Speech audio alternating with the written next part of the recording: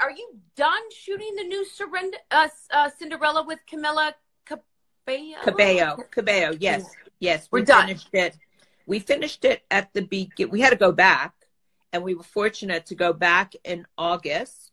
Well, Okay. we went back the end of July, but we went to shoot mid August, and we shot till the first week in October, and we were very lucky because the the numbers in London were way down.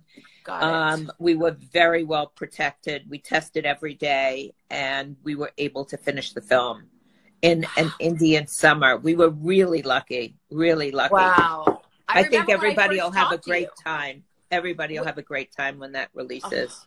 Who's the male lead with her? I'm going to be very bad. I'm not going to be able to say the last name. That's okay. I always need a prompt. Um, Nick Gal- Galantine. Galantine. Okay, we're Yeah. gonna look him up anyway. He's new. Okay. He's new. He's great, and he actually in real life is a is a real prince.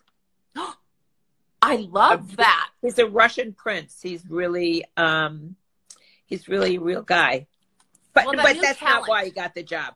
I mean, he's really Right. he's an actor as well. He's his, Wow. he comes from Russian heritage, and the family is aristocratic, and um, he holds a title. Wow. See the the multi layers of the the youth today. They Yes.